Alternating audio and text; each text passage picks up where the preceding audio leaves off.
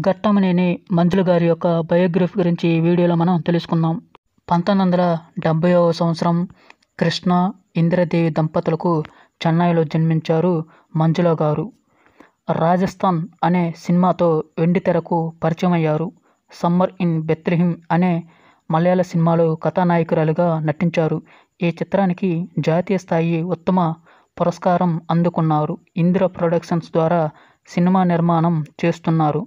ఈమె దర్శక నిర్మాత అయిన సంజయ్ స్వరూప్ గారును వివాహం చేసుకున్నారు. వీరికి జాహ్నవి అనే కుమార్తె ఉన్నారు. మంజుల గారికి బ్రదర్స్ మహేష్ బాబు గారు రమేష్ బాబు గారు స్టెప్ బ్రదర్ నరేష్ గారు అలాగే సిస్టర్స్ ప్రియదర్శిని పద్మావతి గారు. ఫ్రెండ్స్ ఈ వీడియో మీకు నచ్చినట్లయితే లైక్ చేయండి షేర్ చేయండి.